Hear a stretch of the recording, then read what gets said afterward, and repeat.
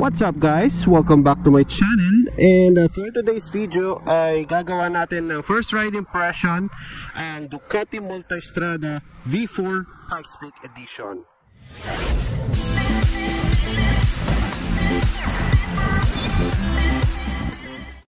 So, ibabalik na rin pala namin itong si Multistrada kaya meron tayong chance na manehoin ngayon, no?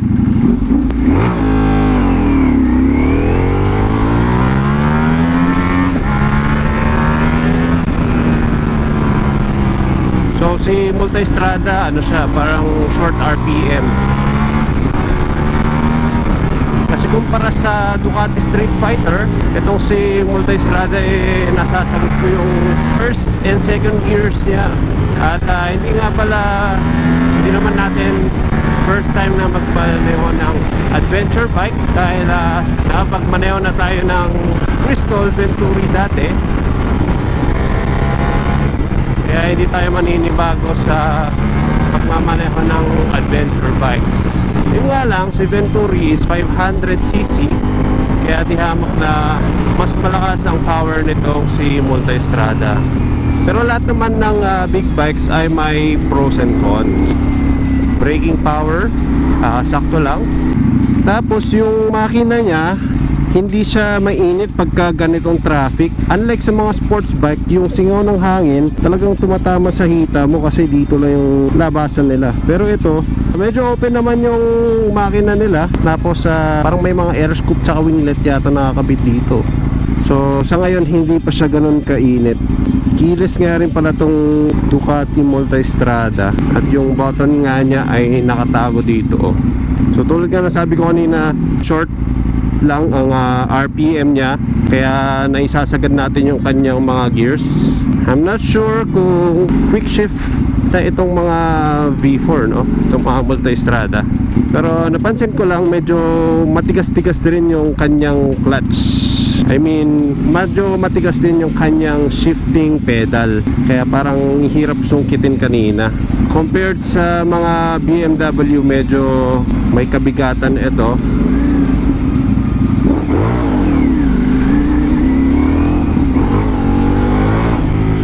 Yun oh. Subukan natin yung pagka-adventure bike nitong Multistrada.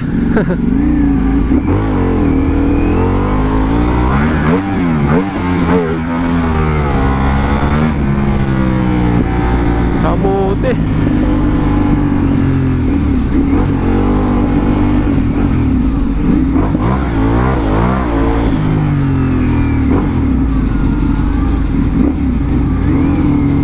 Grabe traffic. Madali rin siyang isingit ha. Tsaka ito yung gusto ko sa mga big bikes guys.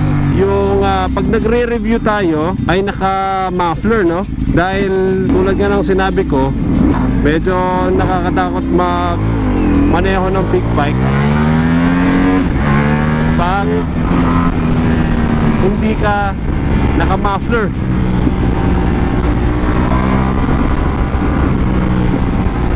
So, it's around 3.30 to 4 p.m. na kaya labasan na ng eskwela at uh, medyo marami na rin sasakyan sa daan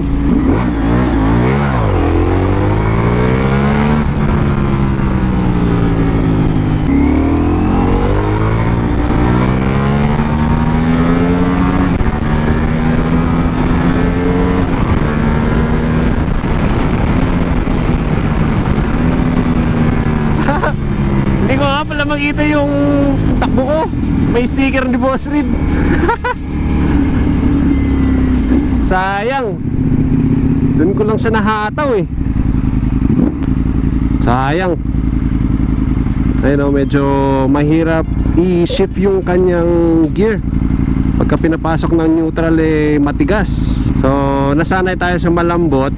Dahil pagka matigas na yung shift pedal niya, mag-shift up na siya sa second gear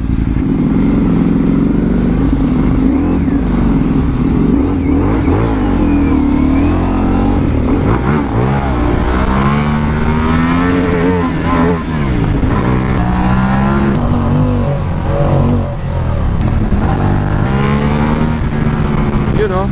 Yung sinasabi kong mahirap siya i-shift. So ang ending parang sumasabit tayo.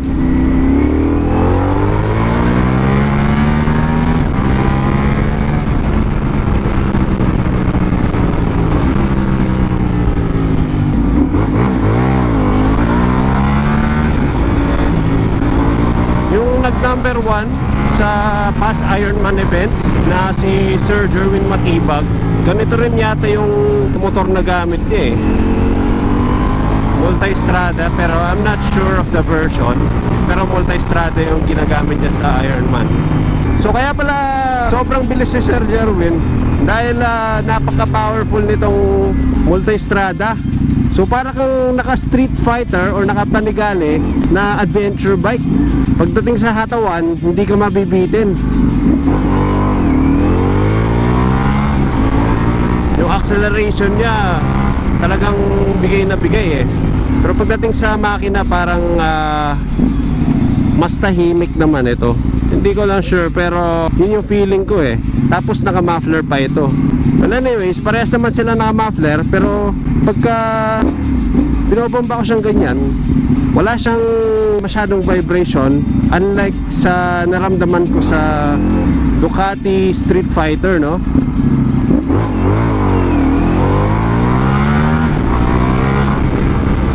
Yun, no?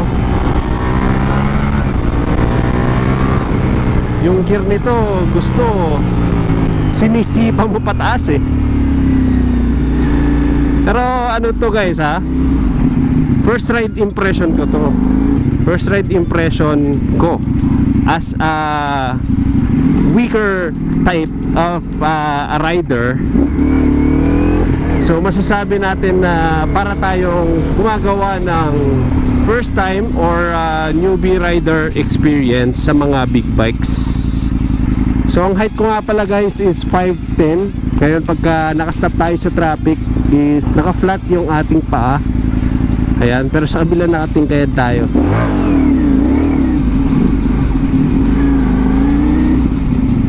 Pero hindi naman ako masyado hi- hirap sa ano sa height guys. Tapos pagdating sa bankingan naman komportable tayo dahil yung nakakabit na gulong dito is uh, Diablo Rosso 4 yung pinaka latest version ng Pirelli sa Diablo Rosso series.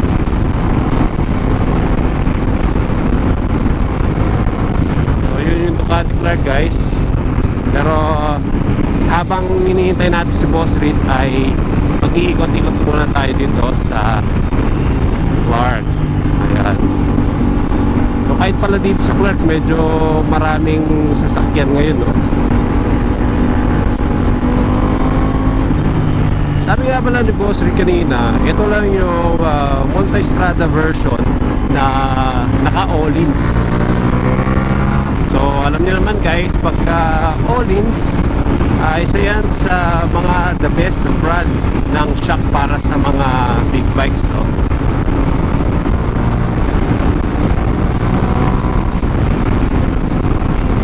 So, iikot lang tayo sandali sa parade grounds tapos didiretso na tayo sa Ducati dahil for sure uh, matatraffic si Boss Reed niyan.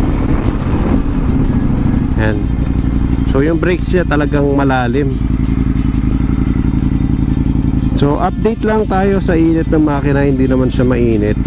Yan. Tsaka naka-race mode tayo ngayon, no? Race Evo. Ito yung ah, kanyang push button dahil ah, yung susi niya nandito sa compartment. Yan. oh. Yun. Ito yung susi niya guys. Sa ORCR siguro to. Yun. Pwedeng pwede talaga to pang Ironman guys. Sarap sa feeling. Masyadong malakas. Pero kung ah, halimbawa, first time yung gagamitin ito sa Ironman, just make sure na makabisado nyo muna yung motor at yung kanyang power. Dahil kahit nagmanayo ka na dati ng 1000cc na motor or ah, lower cc ng motor ah, medyo maninibag pa rin kayo sa power na binibigay nitong Multistrada V4 chill ride lang tayo. Chill ride.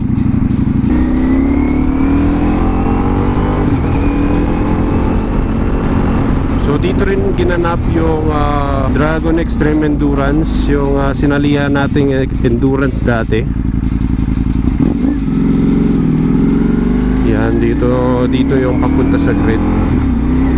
Actually guys, ang sarap tumambay dito sa hapon o kaya sa gabi dahil merong ah, grass area dito at pwede kayong magdala ng ah, lamesa, tent or ah, kahit maglapag lang kayo. Dahil pagkadating ng hapon ay medyo presko na rin yung ah, simoy ng hangin dito. Pero ngayon na medyo mainit pa at mataas pa yung araw kaya I suggest na sa hapon kayo punta dito So dito rin pala yung ah, isa sa sikat na pinupuntahan ng mga rider dito sa Clark, yung Cafe Mesa, yun nandun, no? Dito yung ah, grid ng Dragon Extreme Endurance dati. At ito naman yung Commercial Clark, Commercial Central Clark. Ayan, so ah, alam ko every Friday to Sunday ay nagbubukas sila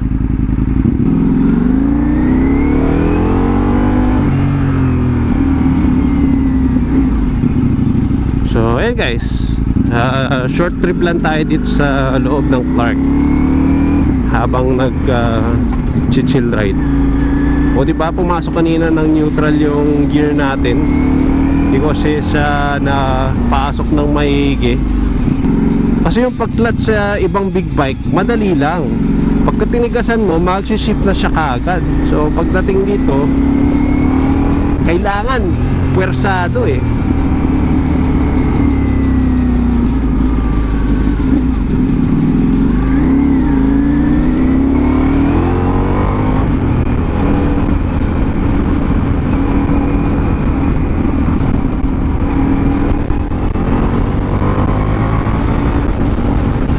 Yun o.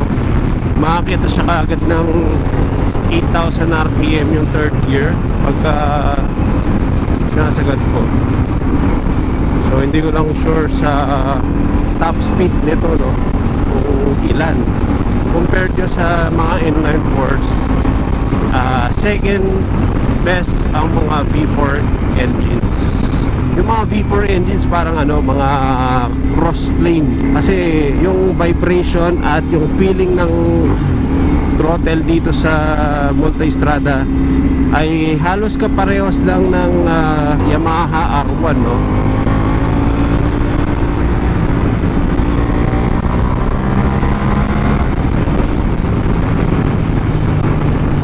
Yan, so nandito na tayo sa Ducati Clark guys. Tingnan natin kung nandito na si Boss Reed. Wala pa.